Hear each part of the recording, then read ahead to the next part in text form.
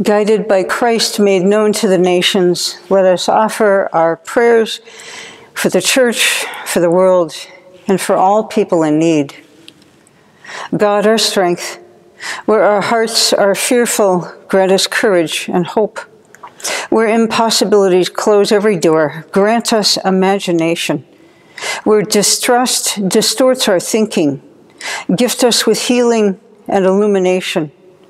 Help us to see the face of Christ in one another's and grant us peace in our land. Lord, in your mercy, hear our prayer.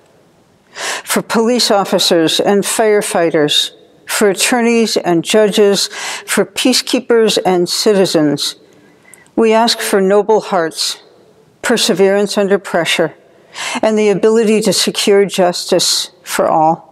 For government leaders in our Congress and Senate, we pray that they may be guided with integrity to provide protection to those most vulnerable and in need.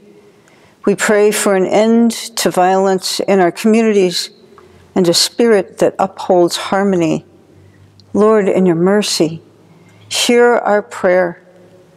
For those lacking food, shelter, or clothing, for those imprisoned or homebound, those who are in need of recovery, we pray lifting their needs before you.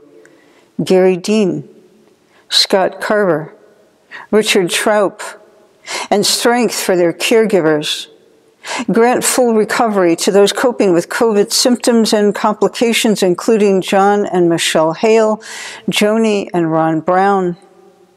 Sustain those who cope with chronic conditions, Sandra Simmons, Bob Walker, Becky Harris, Ben DeRoll, Therese Shirey, Doug McGraw, Alex and Fred, Bill Rep, Tiffany Kohler. Protect Amanda and Mallory Wigton, Ellen Drews, Vicki Dempsey, Sarah Cook, and all who work as medical personnel. We hold before you those we name aloud or in our hearts.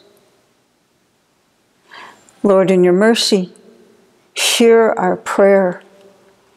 We give thanks for the saints who have gone before us, especially Sandra Schultz and Pat Kindler, laid to rest this week.